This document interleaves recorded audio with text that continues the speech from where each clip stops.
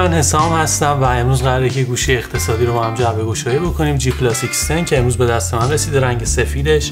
یه حالت نورانی هم داره. تغییر رنگ میده تا یه حدی. یه گوشی اقتصادی با قیمت نسبتا مناسب 3 میلیون تومنه. یعنی فکر می‌کنم اگر بخواید smartphone بخرید جزو ارزون ترین گزینه هاش یکیش همین گوشی جی پلاسه که یه جورایی ایرانیه. درسته که توی ایران تولید نمیشه اما خب برندش برند ایرانیه. می‌پردازیم به اون اول از همه به دیزاین اون می‌پردازم. پلاستیکی وزن سبکی داره 150 گرم وزن اونه بنابراین توی دست خیلی حالت خوبی داره. خیلی اینکه سبکه باعث میشه که توی موقعیت مختلف راحت بتونید باش کار بکنید. اما همزمان یه حس ارزون بودن رو هم منتقل می‌کنه. این متریال که استفاده شده در اون پشتش یه ماژول چهارگانه دوربین رو داریم. یه دوربین 13 مگاپیکسلی به عنوان دوربین اصلی دوربین اولترا واید 5 مگاپیکسلی. دو تا دوربین هم یکی برای تشخیص عمق یکی هم دوربین ماکرو که هر کدوم اونها دو مگاپیکسلن و خب خیلی به درد نمی‌خورن. بعدتر به کیفیت اونها می‌پردازم. یه فلاش هم اینجا در نظر گرفته شده. پشتش حالت براق داره. و بلا فاصله اثر انگشت رو به خودش جذب می‌کنه. اما خب خوشبختانه یه کاور شیشه ای برای اون در نظر گرفته شده که اونو که میندازین خب این ماجرا تا حدی حل میشه. یه گلس هم توی جعبش وجود داره که اگه دوست داشتین اون رو هم می‌تونید نصب بکنید. خیلی خوبه که همچین آیتمایی رو توی جعبه داریم. به جز اینایی که بهتون گفتم یه شارژر 10 واتی به اضافه هدفون ها هم توی جعبه وجود دارن. خوشبختانه. برمیگردم به طراحی و این فرمی که دوربین ها اینجا قرار گرفتن. خیلی اون رو شبیه به گوشی های هواوی و شیائومی می‌کنه که کسی اگر متوجه نشه که گوشیتون جی پلاس یعنی دستتون رو بزنید روی لوگو شاید با گوشی شیائومی یا هواوی اشتباه بگیرن. بعد دکمه صدا کم و زیاد کردن صدا رو سمت راست گوشی داریم به همراه power button که سنسور اثر انگشت هم اینجا قرار گرفته و نظر من یکی از اتفاقات خوبی که راجع به این گوشی وجود داره همین جای سنسور اثر انگشت. نرفته زیر شیشه که بعضی وقتا بگیره نگیره. کامل کار می‌کنه اما خب دیلی داره. اینجوری نیست که خیلی سریع دستتون رو گذاشتین سریع باز بکنه نه اصلا از این خبرها نیست. یه ذره طول می‌کشه. ولی خب گفتم همین که بغل گوشی هم دسترسیش رو خیلی راحت کرده هم که خیالتون راحت می‌کنه که اکثر مواقع می‌تونه گوشی رو به راحتی باز بکنم. فقط میگم با اون فاصله زمانی که بهتون گفتم یه دوربین به شکل قطره این بالا قرار گرفته. که اون هم می‌تونه وظیفه unlock کردن گوشی رو بر عهده بگیره. دوربین 8 مگاپیکسلیه که کیفیتش خیلی چنگی به دل نمی‌زنه. انتظاراتتون هم نباید خیلی بالا باشه. یه صفحه نمایش 6 ممیز 26 اینچی رو داریم که 296 PPI resolution اونه. بد نیست. توی صفحه های پی که من تا الان دیدم می‌تونم جزو صفحه های خوب اون رو قلمداد بکنم چون رنگ ها و اون در واقع sharpness ی که داره خیلی توی ذوق نمی‌زنه. و اگر range قیمتی این گوشی رو در نظر بگیرید خب نه واقعا صفحه نمایش نسبتا خوبیه. پایین گوشی مقدار chin داریم یا به اصطلاح چونه این پایین گوشی قرار گرفته. اونم خیلی تو ذوق نمی‌زنه.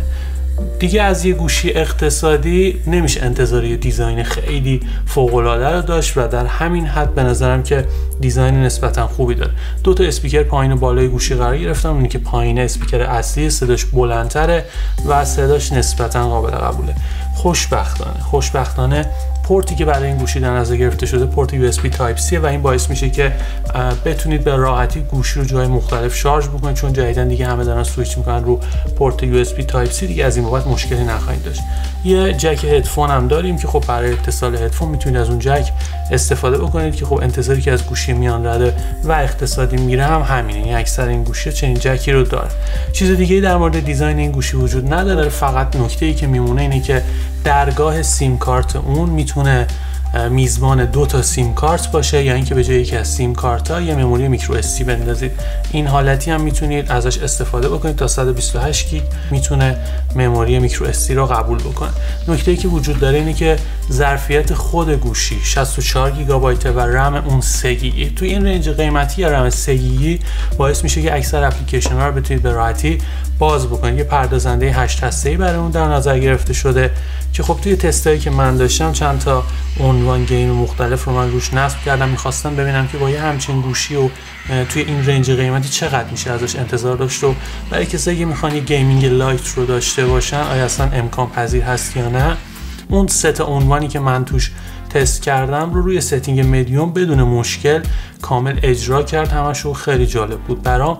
فقط نکته که وجود داره اینه که یه مقدار گرم می‌شد. گوشی موقعی که نیم ساعت. 40 دقیقه بازی می‌کنی دیگه کم کم گوشی شروع می‌کنه به گرم کردن. خب اینم باید در نظر بگیرید این موضوع ولی خب اون game های light رو کامل از عهدهش برمیاد. اپلیکیشن ها هم که موردی نداره می‌تونید اونها رو نصب بکنید. اندروید 10 روش نصب شده. یه اندروید بروزه که خیلی شبیه به اندروید stock ه و اپلیکیشن ها رو با بالا کشیدن صفحه می‌تونید ببینید. می‌خوام بپردازم به دوربین هایی که برای این گوشی در نظر گرفته شده. قبل از اینکه به خود دوربین ها بپردازم می‌خوام به اپلیکیشنی بپردازم که می‌تونید به وسیله اون عکاسی بکنید. اصلا اپلیکیشن خوبی نیست. یعنی توی تستی که من داشتم خیلی کند و به اصطلاح لگیه متاسفانه و نمی‌تونید به راحتی باش کار بکنید یه ذره شاید طول بکشی که بهش عادت بکنید. مثلا برای تغییر دادن لنز دوربین دیگه اینجوری نیست که شما بتونید اون پایین با یه سری شکلک ها مثلا همون چند تا درختی که توی گوشی های سامسونگ وجود داره تشخیص بدید که لنز ultra wide رو دارید استفاده می‌کنید یا لنز wide رو. اون بالا یه لوگو کوچیک وجود داره شبیه عکس پانوراما که با زدن اون دوربین سویچ می‌کنه روی دوربین ultra wide که واقعا کیفیت خیلی معمولی داره. یه دوربین 5 مگاپیکسلی که نویزش خیلی بالاست. یعنی توی این تستی که من داشتم واقعا نویز بالایی رو داره. دوربین اصلیش دوربین 13 مگاپیکسلی که اصلا نباید از اون دوربین انتظارات بالایی رو داشته باشید. یه دوربین خیلی معمولی که در همین حد که بتونه یه لحظه رو براتون ثبت بکنه یا بعضی جاها یه QR کدی باشه بتونید اون رو اسکن بکنید. اصلا کیفیت آنچنانی نداره. یعنی اگر بخوام این دوربین ها رو با دوربین هایی که توی گوشی A02 سامسونگ گلکسی A02 وجود داره مقایسه بکنم قطعا امتیاز بالاتر رو به اون گوشی میدم. این رو هم باید در نظر بگیرید یعنی یه دوربین خیلی معمولی داره. بیشتر احساس می‌کنم که انرژیشون روی دیزاین گذاشتن.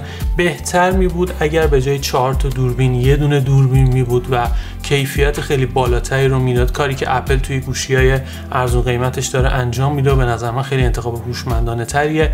به جای اینکه چهار تا دوربین اونجا قطار کنیم و کیفیتش خیلی معمولی حالا یه ذره معمولی نسبت به پایین باشه. از وارد تصویر برداری هم باید بهتون بگم که می‌تونید روی همون دوربین اصلی 13 مگاپیکسلی حساب باز بکنید که تصویر فول اچ رو بهتون میده با سرعت 30 فریم بر ثانیه که خیلی کیفیت معمولی داره. یه باتری 4000 میلی آمپر ساعتی برای اون در نظر گرفته شده که قشنگ یه روز یک و نیم روز دووم میاره که برای همچین گوشی اقتصادی خوبه. اما همچنان وقتی اون رو مقایسه می‌کنید با گوشی سامسونگ که یه باتری 5000 میلی آمپر ساعتی توی اون گوشی وجود داره. خب می‌بینید که نقضات ظرفیت باتری هم اون گوشی به G Plus X10 میچربه. در نهایت باید بهتون بگم که اگر دنبال خریدن یه گوشی توی همین رنج قیمتی که بهتون گفتم این حدود 3 میلیون تومان هستید G Plus X10 می‌تونه گزینه خوب باشه مخصوصا برای کسایی که دیزاین نقش پررنگتری رو توی انتخابشون داره. البته که عملکردش عملکرد بسیار خوبی بود. ولی اگر دوربین براتون اهمیت بیشتری داره قطعا پیشنهاد می‌کنم که برید سمت گوشی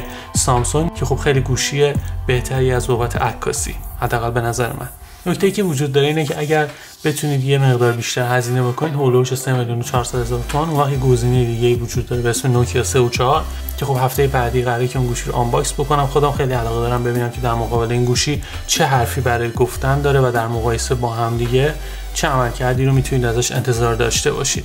در کل گوشی خوبی نسبت به قیمتش می‌تونه جزو یکی از گزینه هایی باشه که کسایی که توی این رنج قیمتی می‌خوان هزینه بکنن بهش یه نگاهی بندازن. خیلی ممنونم که این ویدیو رو تا انتها تماشا کردید. اگر این ویدیو رو از طریق پلتفرم یوتیوب تماشا می‌کنید حتما این کانال رو subscribe بکنید.